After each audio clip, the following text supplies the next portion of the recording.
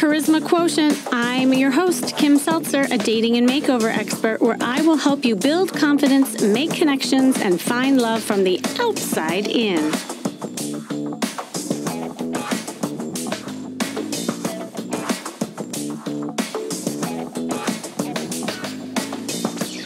An alarmingly number of people I talk to when I first ask about people's stories growing up report experiencing some sort of abuse. And I know this is a little heavier topic than usual, but I feel like it's so important. And and here's the thing. A lot of people have experienced some type of abuse in their life. And maybe it's you or maybe it's someone you know. And it could be someone you're dating. I found some statistics that were astounding to me. One in nine girls and one in 53 boys under the age 18 will experience some sort of abuse by an adult. And this could be any form it could be physical, emotional, financial, sexual, coercive, psychological, and it really can leave long term scars. And it's no surprise that these scars can flare up again when you're dating or beginning in a new relationship.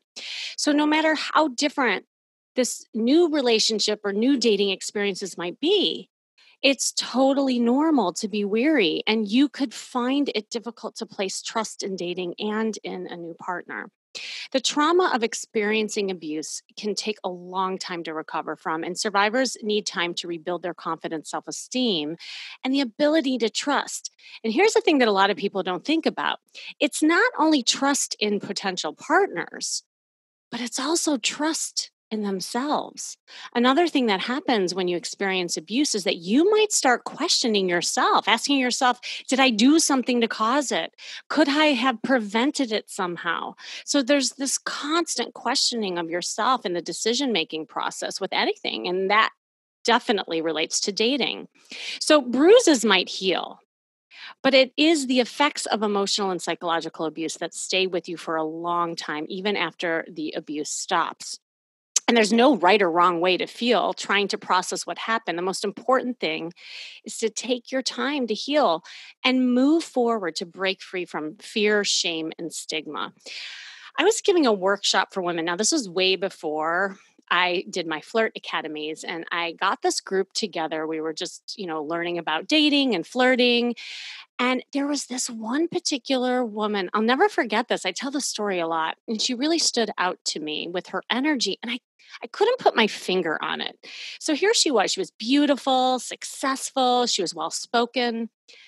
But then her body language, her outfit, her attitude read something completely different.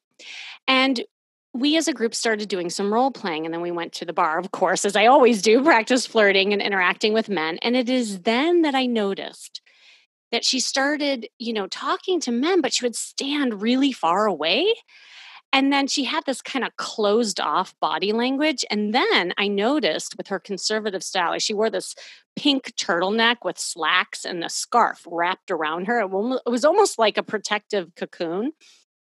And I pulled her aside and I told her about my observations around her body language and style. And I asked her if she had any awareness of it. And she was so surprised. She was so shocked that I picked up on something because she thought she hid her discomfort from getting close to men. She then proceeded to tell me in confidence that she was sexually abused when she was young and that she had done a ton of therapy, but she didn't realize that her anxiety, her fears were leaking into her body language even her style and and that was impacting attraction she was having a lot of trouble with first impressions in men and she ended up hiring me, of course, after that. And because she had so much therapy, I did something really different with her. We determined that it was time to take action. In fact, I told her that talking therapy at this point, because she had so much of it, wasn't what she needed. She needed to practice feeling comfortable in her body, practice getting close to men, and most of all, trusting herself. And so we went shopping together, of course, and we bought her sexier clothes, and she could really start feeling comfortable in. And then we went out several times, just exercising her flirt muscle. And I saw her transform in the way she felt in her body, going from this anxious, closed off, stiff energy to a more relaxed, open, and sexy one. And she finally felt comfortable going out on dates with confidence. She had met her goal of dating with confidence and allowing herself to receive finally from a man. Now, no matter what roadblocks or difficulties you might be experiencing, you can move beyond the trauma of abuse and enjoy a healthy lifestyle and relationships. And with me here is someone very special I met recently who has uh, an incredible story who has transformed. Oh my gosh, wait till you'll see his transformations because I have pictures. Um, he, he's done a complete transformation inside and out, and now he's here to inspire others to do so. After 20 years, he was a consultant providing strategic business solutions for companies in the US, Canada, and Europe. But in 2015, his life took a dramatic shift. He spoke at an event around the topic of childhood sexual abuse in his hometown, where his grade four and five elementary school teacher sexually assaulted him and many of his friends. And last year, he founded a nonprofit called Me Too What Now that raises awareness about sexual childhood abuse and mental health. And the organization's tagline, Find Yourself, Live Yourself, Give Yourself, reflects the path to discovering your identity and living your true, authentic self. And he started creating a unique blend of videos on this topic not readily found on the internet. In 18 months, he uploaded 43 videos to his Me Too What Now YouTube channel, and they've been viewed almost 6,000 times for a total of 16,000 minutes. I love how he broke that down. I'm sure it's more than when he wrote this bio. He believes that doing the work to live your authentic self is how to find true fulfillment and lasting happiness. Welcome, Ed Squire. Kim, thank you so much for having me on your show. I really appreciate it. Looking forward to it. Oh my god, I was so happy to have you on, and I really like you. Really touched me. I we met at the New Media Summit with Steve Olsher um, not too long ago, and I just remember you. Like I, you, you were memorable you know like i think we had just like a, a, fun little exchange but there was something about your energy and this positivity that was radiating radiating out of you like i wanted to know who you were and then i hear your story when you went on stage a little bit and it just you have this amazing source i'd love for you to talk about that in in ways of how you got inspired to do all this Oh, well, that's uh, and it's funny because I, I, felt the same way when I met you, and I was trying to figure out who is this woman that relates dating to every topic that, pretty, that comes across stage here. Somehow, I thought I thought I'd love to be on your show, but how do I? How am I going to get this topic into the dating world? And mm-hmm. um, there's there's it's uh, it's actually uh, ripe with uh, um, talking points about how to you know um, uh, how to how do you engage in a in a healthy dating relationship after you've been through uh, not only trauma but the, the type of trauma that I've been through? It's a it's a real it's a journey to get to find your authentic self, like which what we're talking about. But um, you know, my my my story is uh, I don't like to, you know, it, it's everybody's story is is is is that, that creates trauma in their life is very personal to, to each person.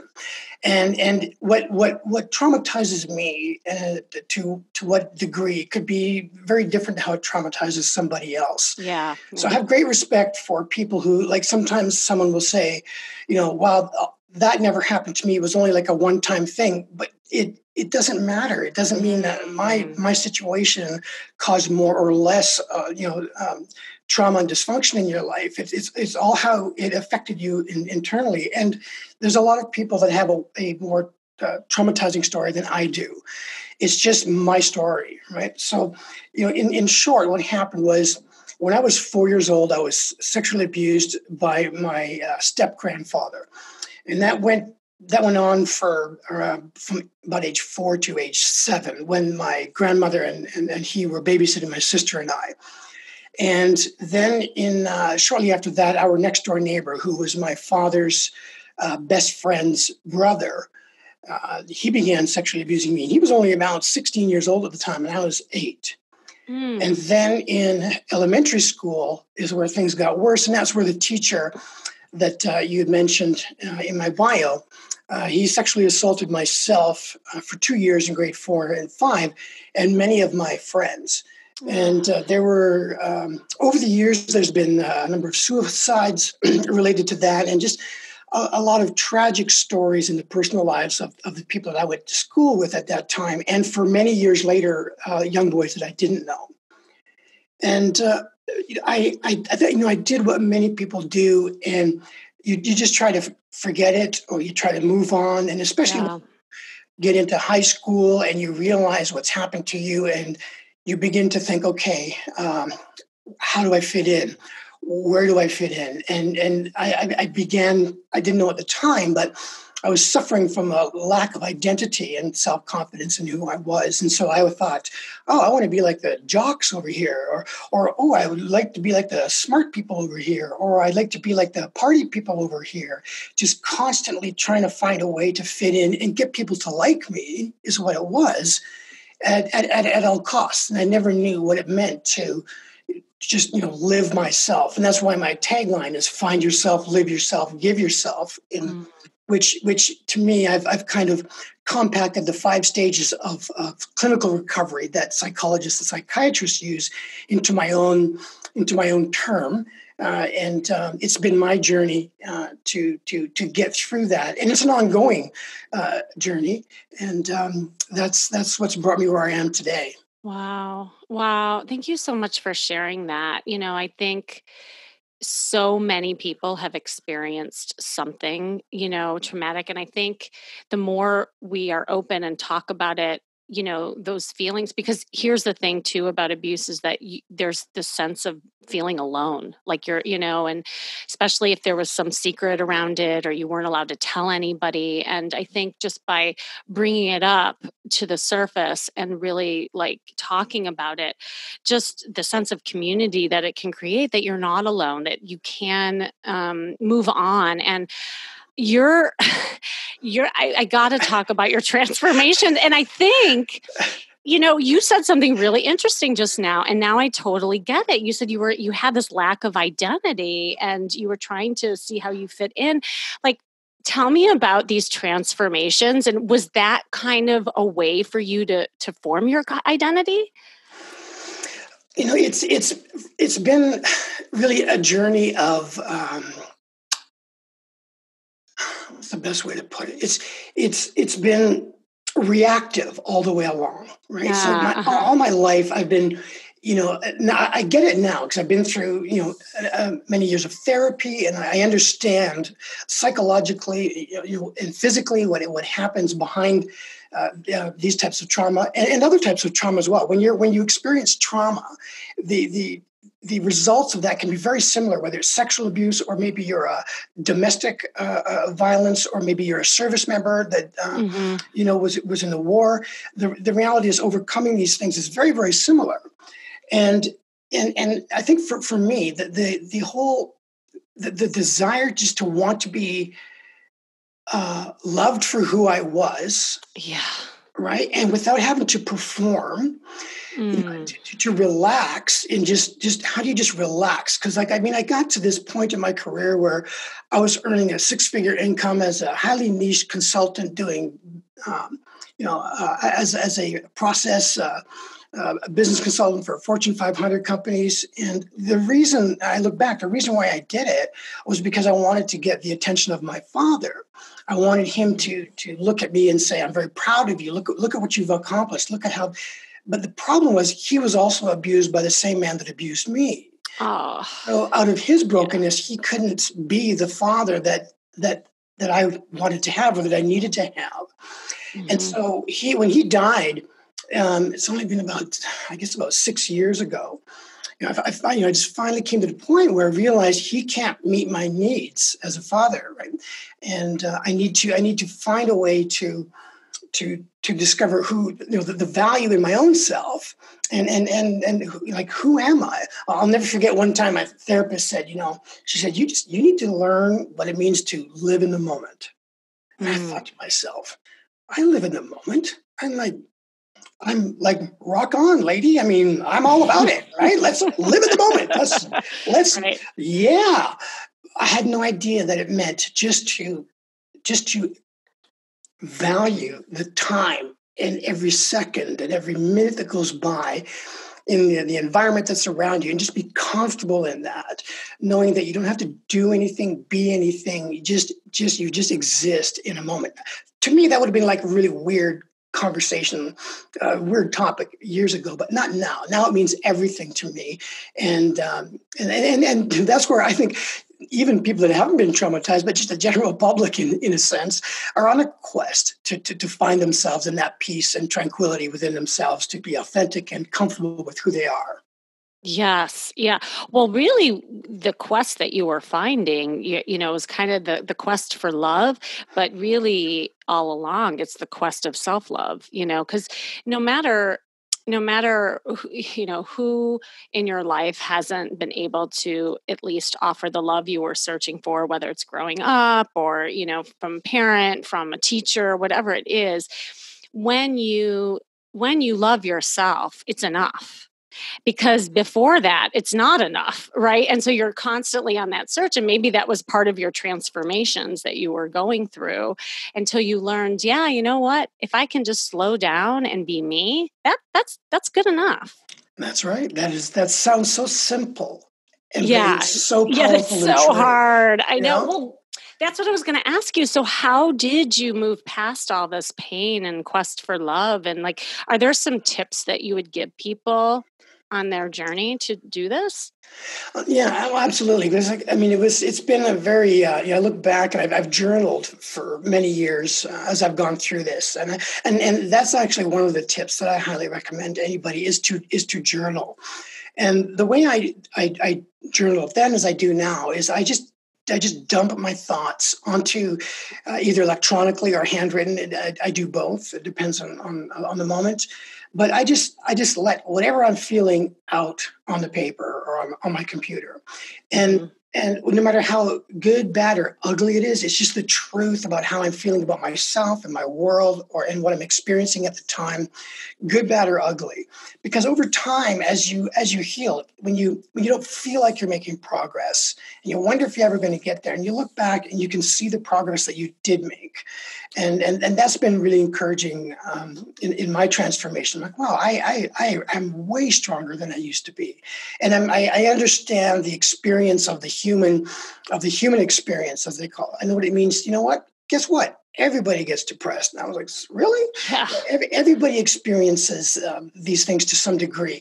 But when you when you're experiencing trauma or dysfunction, it could be at, a, at, a, at an elevated level. So journeying is one thing, and just being real honest with how you feel, get it out there. Um, I love that. You know, it's funny that you said that because one of the exercises that I give people all the time, and it's something I require, is I mean, I have people journal too, but what you're saying, that piece of having a record, is so crucial because you don't think you're making movement, right? And so I have people do an accomplishment chart, kind of like what you're saying, but in a form of like having their goals. And every time they meet their goals, they write down you know just an example of how they met that goal and it is it's such a powerful tool because most people don't see or even the value of those little wins how they add up to the bigger picture I, I like what you said because that's that kind of ties into another another tip is uh-huh. is is giving yourself credit um, when you've accomplished something, no matter how little it is, because depending on where you are in your journey, an accomplishment may be just getting out of bed on time, or it may be keeping your place clean, or maybe yeah. there's, there's so many different things, or it could be maybe you accomplished a chapter in your book. It doesn't matter, but but to to reward yourself, and I found that so difficult, but because I wanted to get to a I wanted to get to a healthy state of my life. And so I just got to the point where when I accomplished something, no matter how big or little it was, I would just say out loud, that's a vote. And every uh, vote counts right? I so love that. Yeah that's cool. it's like in in politics you know what your your vote counts even though it may feel like it doesn't. And the, the more votes you get the stronger you become as you as you go along. So i uh, i have a whiteboard in my kitchen and i just put i put a stroke you know one two three and cross it off with five or four. One two three four cross it off with five. And mm-hmm. i'm like wow i'm i'm getting a lot of votes here meaning it may be getting exercise every day or maybe eating healthy or maybe whatever whatever whatever the, the, the steps that I've put down on paper to, to for my goals, they count as votes, whether or not I feel like I'm succeeding or not. I look at this and go, wow, there's a lot of votes in my in my favor here. I love that you're voting on yourself too. You're not relying on other people to vote for you, which is outside validation, which often happens when you're feeling lost. Right. You're actually validating yourself and saying, "I win. I I'm voting for myself." And that's I love I I everybody should be doing that. Like I want everyone to vote for themselves every single day. I love this. Okay. You know, and you said you, you talked about loving yourself, right? I hated that because I, I loathed myself all my life. I just I hated myself with great intensity, and it you know it brought me to you know uh, uh, times of, of, of, suicidal tendencies and just a, a, lifestyle that was harmful to myself and harmful to others. And the more I did that, then the more I hated myself. And so now. You know, during my journey, as I as I vote for myself, it could be votes for really things that are maybe shameful that I don't want to tell somebody, hey, guess what? I didn't, I didn't, I wasn't, I didn't look at porn this week, right? Because porn mm. addiction was a was a problem for for me, and, and, and, like it is for many men. And that's another thing I'm not ashamed to talk about. Mm-hmm, mm-hmm. And so that every day that would go by as I as I as I move towards sobriety in that area, right? I'm like, I wouldn't, I don't want to tell anybody that, hey, guess what? I've not, I haven't looked at porn for 60 days. Right. I look at my, my little board in the kitchen and I go, oh my God. I mean, I look at that and I go, how good do I feel now? Because I've voted for myself so many times. And, and uh, so it, it's, it's, uh, I have a question around that. Actually, I'm glad you brought up the addiction piece because that is something that's really um, prevalent, you know, in, in, ways of trying to fill yourself up to feel good. You know, when you're not really addressing the feelings, you're just, you know, almost um, using it's almost like a drug right it could be any addiction it could be like sex right. it could be videos it could be like anything did did you and maybe this is another tip did you do something to replace that addiction absolutely uh, because yeah.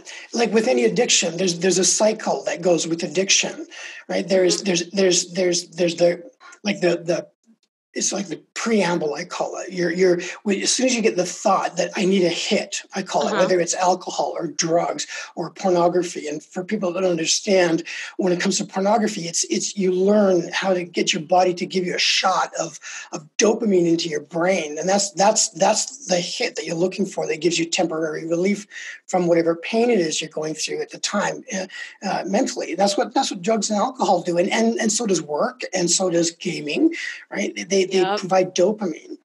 And so I had to be I had to become aware of the cycle that that that surrounds addiction in general. Like what is causing me to trigger to want to engage in pornography and then and then understanding the shame that happens after it and then there's this there's this literal you know i was just so so surprised to see that addiction had a very predictable pattern to it. So the next question was well how how do you overcome addictions? And so i approached it the same way uh, I, that you would if you're a, an, an addict to any other substance. And that is you have to learn how to understand your triggers understand your emotions, be aware in the moment of what's happening to you, be aware of your feelings. So, some of the things I would do, and I still do today, um, even before I got on your call, I stop and I go, How are you feeling right now?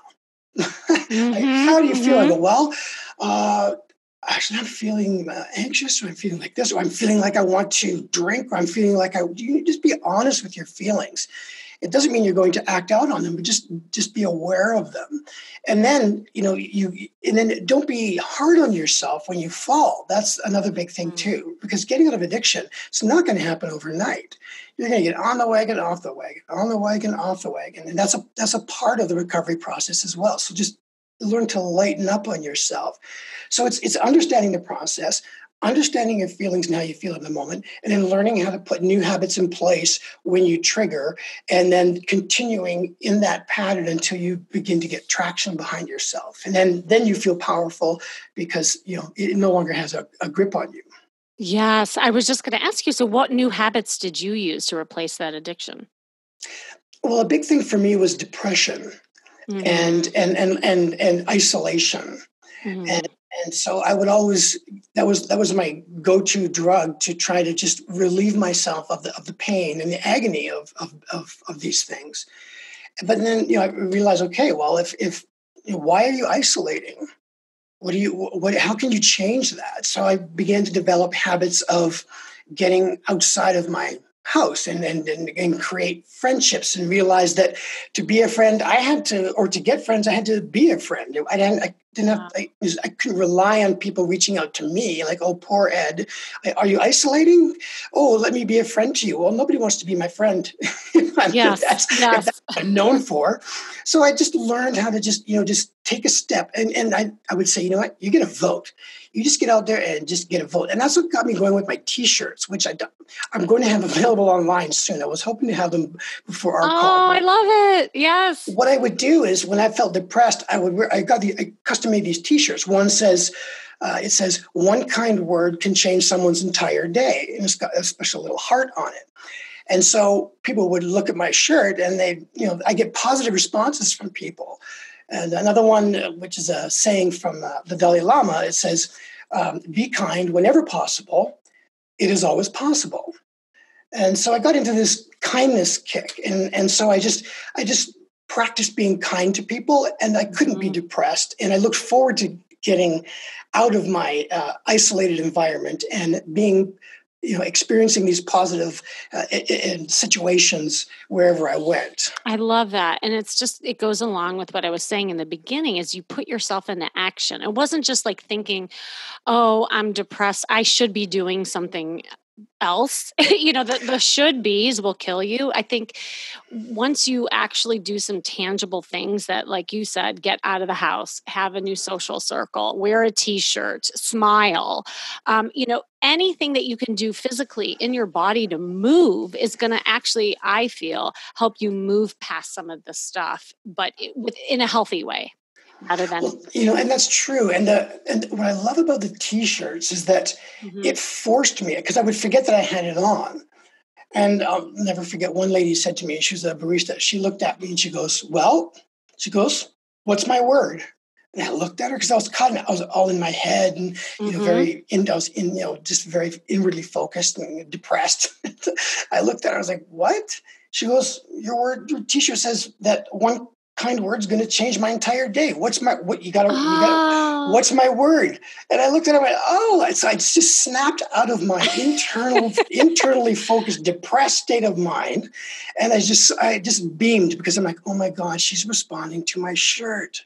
That's awesome. And, and so I had to engage with this human being. I mm-hmm. looked at her and I wanted to be sincere, and I was. And I looked at her. I said, "You know what?" I said, "You look that that outfit looks stunning on you. You just look fantastic today." And and I smiled when I said it because I felt great. And she looked at me and she, oh my God, she goes, well, thank you so much. and, and, and so you know that that changed my entire day. That's awesome. And I love that, like, that it was almost like a prop, if you will, or that costume allowed you to have that confidence to interact. You know, I've been doing these flirt academies all over, and I'm just going to give a reveal a little secret. I do, I have these flirt gag bags that I give people, and inside the bags, there are these cat ears because the, right and, and it's kind of like the t-shirt where when the women would put on the cat ears suddenly it gave them confidence because guys would like interact with them with the cat ears and like oh i like your ears you know and suddenly it just gave them permission then to you know have this kind of sexy cat ear attitude and also engage in conversation. So I think props are actually really, really effective in that. So that's that's awesome. Well, you know, I call that tools. You need yeah. you need to have tools in your toolbox that work for you, mm-hmm. and and you know, and, and, and be and be and you know, the other tip that goes along. So we mentioned journaling. We talked about um, um, under like understanding the, the, the cycle of, of depression and, and addiction and and and then doing something um, but getting grounded and being mindful is is is the is, an, is another another tool like that goes along with that whether they're physical tools or they're they're they're you know um, uh, psychological tools it helps and and being grounded and mindful i just that confused me for so long, but now I, I get it.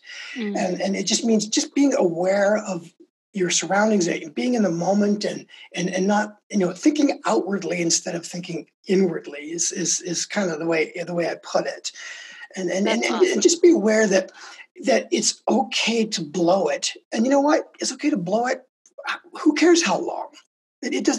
Forget yeah. the time limit, right? Just take a step today. Take a step in the moment right now and that's that's where you then you get your vote right? So that's the other tips taking votes. And and just don't be hard on yourself for you know what? You're going to fail your ass off along the way. It's just going to be part of the process. But know that hey that's part of the process.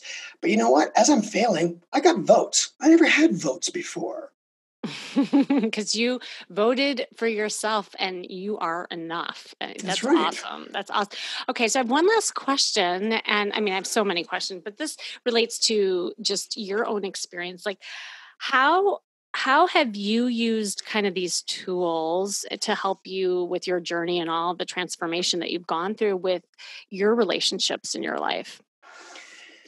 Yeah, I, I, was wondering if we were going to talk about that. of course, I'm not going to let you get away. We're not going to end this podcast without you talking about oh, that. God, so you know, all my life, I've I'm I'm high functioning, which means I can look like everything's fine on the outside.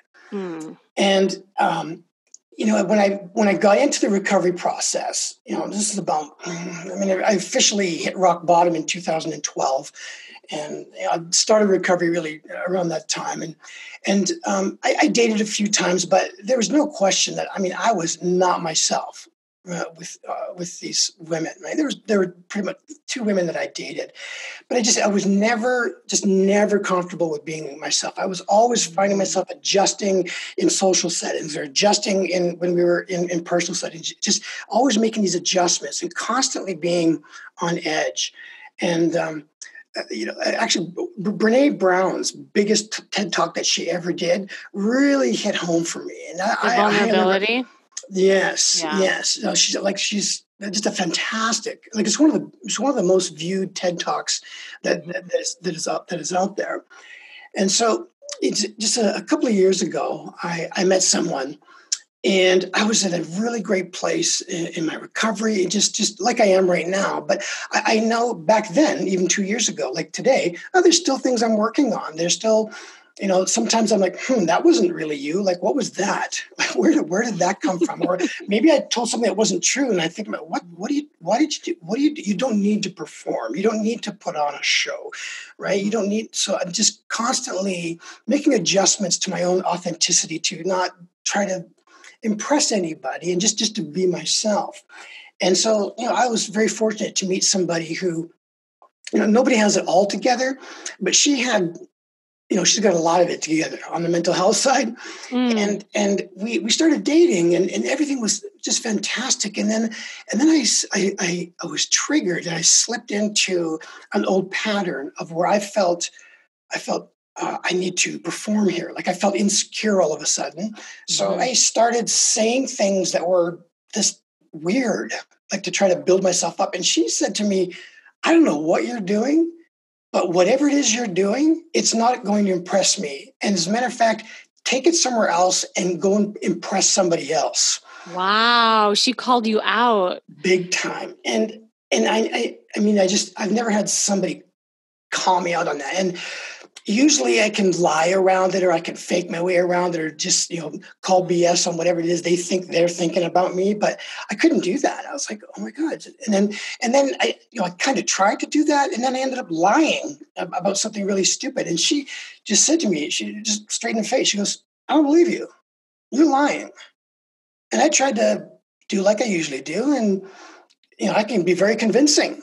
And mm. she was not buying it and so we were on again and off again, and uh, it caused me to really, uh, really think about okay, what, what, am I doing here? How can I get to the next level of, of, of mental health and um, and um, you know how what you know how did you, like what did it was it was painful, but it was great because you know what like one of my favorite things to say is if it's impossible to live authentically until you learn how to live in the moment and that means grasping what's going on and understanding it and so um, you know we we uh, you know we've been on again off again for a couple of years and uh, she's a wonderful uh, woman that really understands me but does not give me any slack right mm. it, but in, in, a mm. healthy in a healthy way right right right just, just does not does, does not go for unhealthy um, you know unhealthy activities in, in, in our relationship. Is either all real or no thank you.